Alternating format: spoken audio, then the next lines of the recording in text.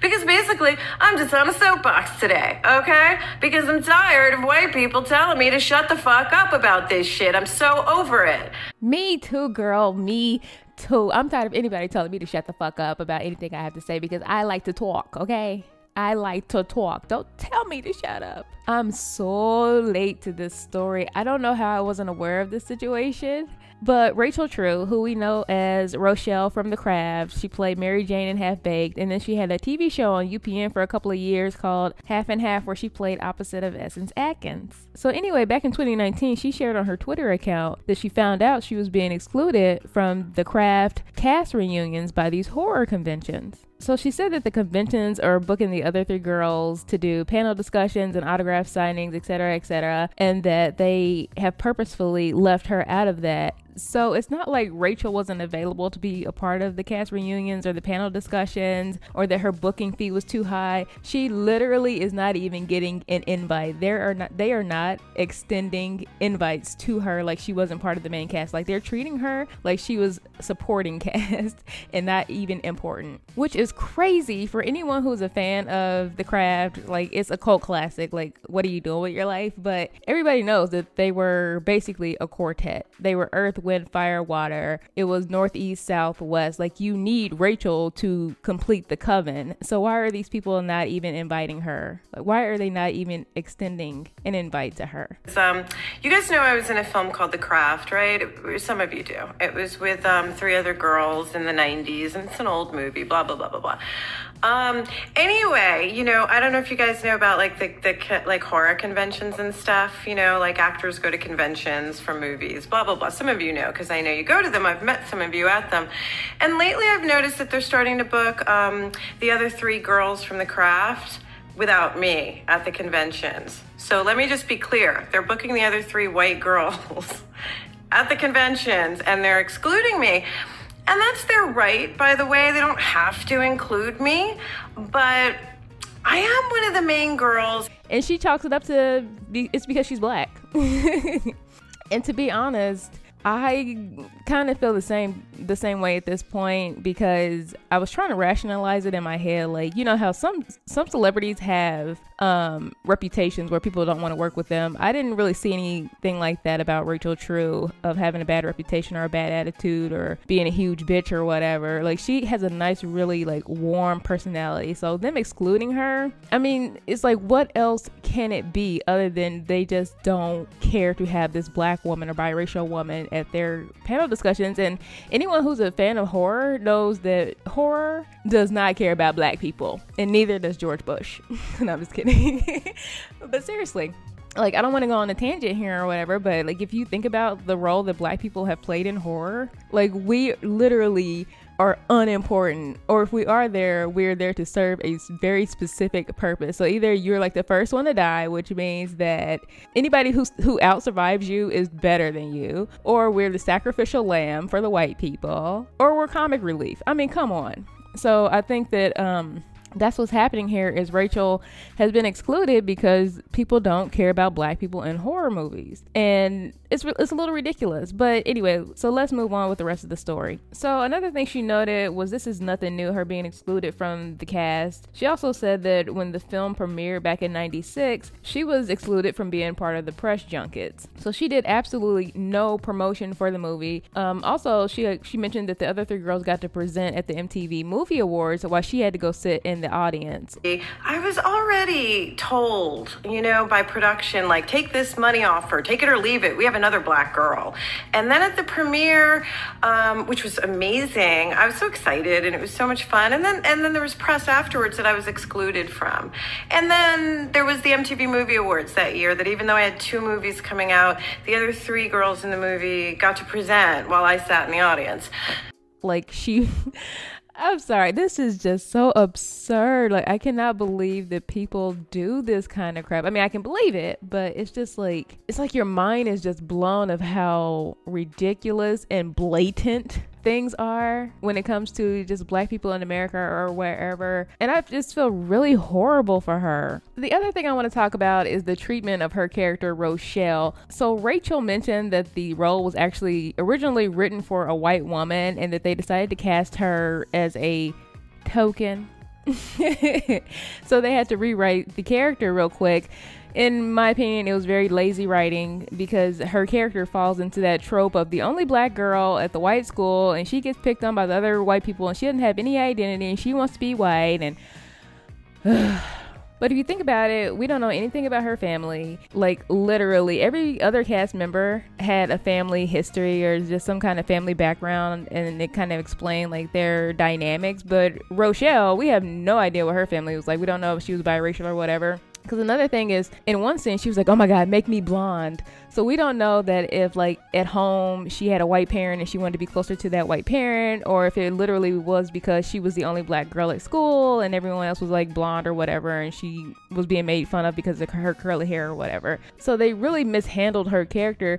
The other thing that happened with her character is that she ends up falling into the angry black woman trope because her retaliation towards Marcia Brady is treated as um oh, I don't know what you would call it, but basically she learns a lesson by retaliating against racist KKK Barbie. She's punished for retaliating against this woman, so she becomes this angry black woman that just needed to get revenge, and the universe had to teach her a lesson.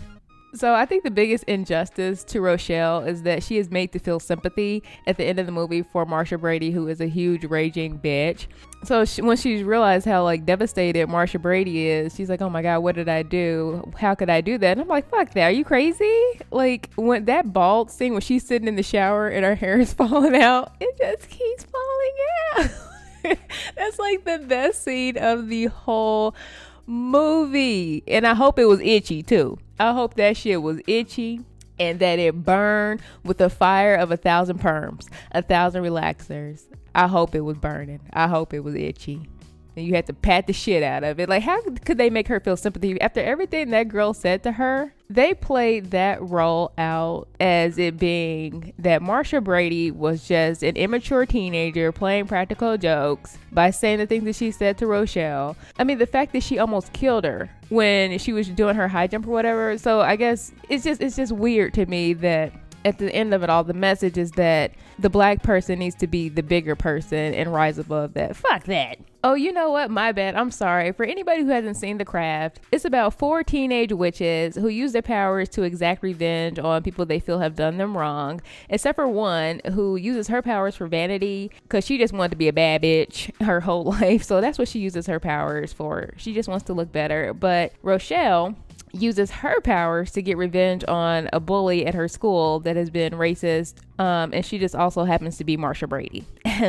So back to Rachel being excluded from the cast. People on Twitter brought up a great point. Why is the rest of the cast not demanding that she be included in these panel discussions and in these cast reunions? Why are they still attending these events without her? Says it's really sad your castmates didn't have your back. No, let me be clear on this, okay? Fairuza Balk, Fairuza Balk, email, t- uh, emailed, and texted me about this like a month or two ago. She let me know a while back and, and was like, I want you there and blah, blah, blah.